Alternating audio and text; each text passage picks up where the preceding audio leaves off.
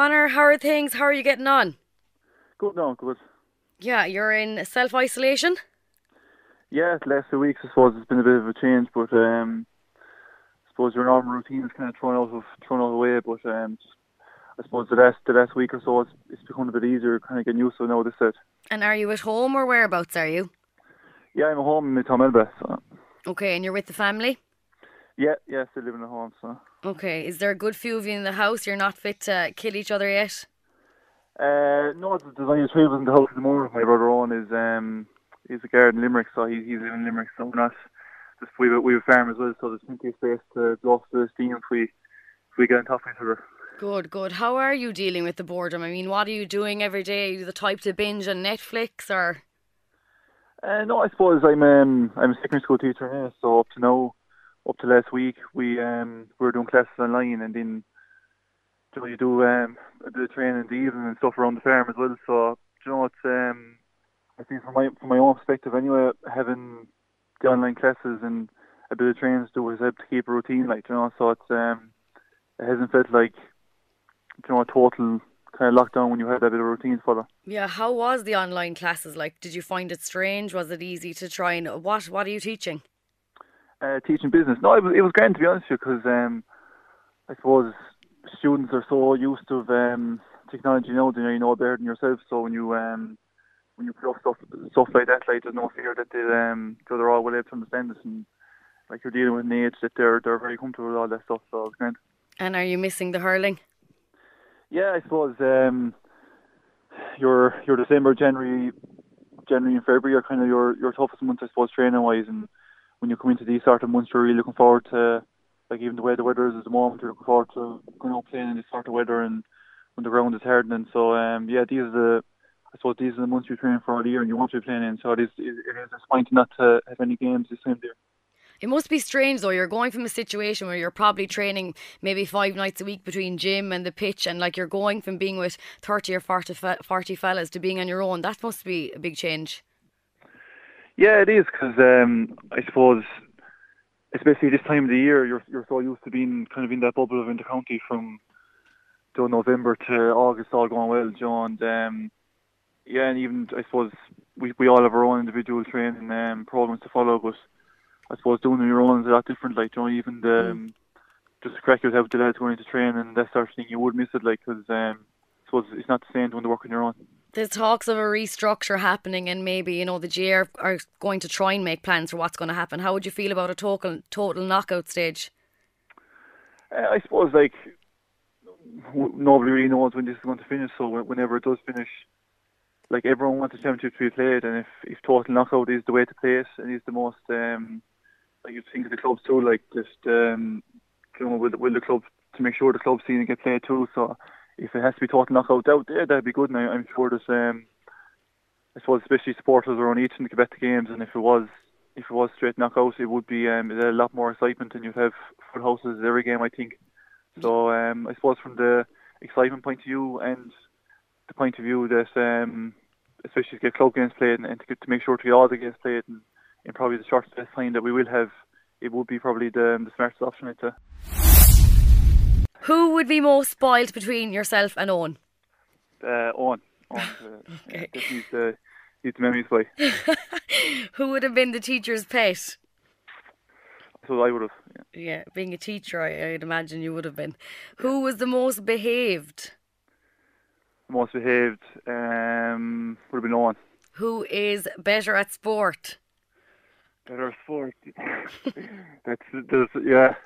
Um, uh, I, I, I, I, I, suppose I, I'm better at hurling. He's better at football. Oh, there's a good answer. There you go. Who was the biggest ladies' man? Oh, there's, there's only one winner there anyway. It's on. have you any? Have you any nickname? I have yeah. Um, Tura. Go on. Um, just I suppose thanks to Camille again. I'd be uh, kind of over, over eager to get on the ball sometimes in games. I um, I I roar yeah yeah when I'm looking for the ball. Yeah yeah yeah yeah yeah yeah, yeah. Tura I think came from the Okay.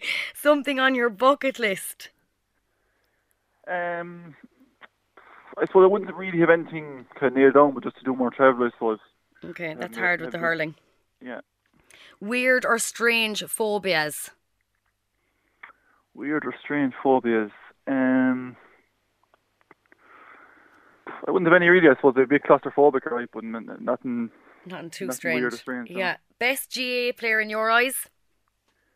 Best GAA player in my eyes. Um, so Joe Canning, Joe Canning. And the strictest manager you've ever had?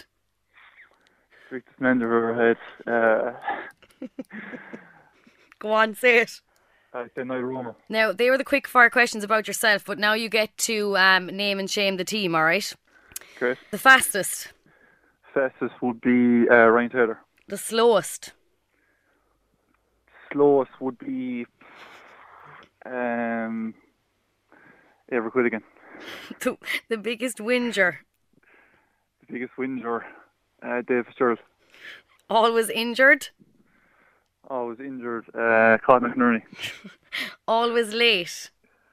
Uh, Shane O'Donnell. Oh, God. Most likely to get a spray tan. Most likely to get a spray tan, I say Aaron Trenner. Most likely to get their eyebrows waxed. Um, I say Shanagher again. The worst dressed. Worst dressed. Uh, worst dressed. Um, say Pat O'Connor. Okay, best dressed. Best. Uh, best. Shane O'Donnell again. Most likely to slide into someone's DMs. Most likely to slide into someone's DMs. Uh, Kevin Hare. To go, the most likely person to head up to the Love Island villa. Love Island Villa. Uh, Pod Collins. The cheek, the cheek of white podge. Uh, no, I, know it's my head. Okay, okay. I, I hadn't, I hadn't picked him yet. So. Yeah, you, you want the name. The cheekiest on the pitch. Cheeky's on the pitch. Um, Aaron Cunningham. Right, okay, okay. Now, I did mention earlier on, I did have something up on Instagram to allow people to ask you questions, and you wouldn't believe loads of them came in. So, the first one, I'm going to keep this one anonymous because I don't think they'll want their name being mentioned. This is Snog, Marry, Avoid.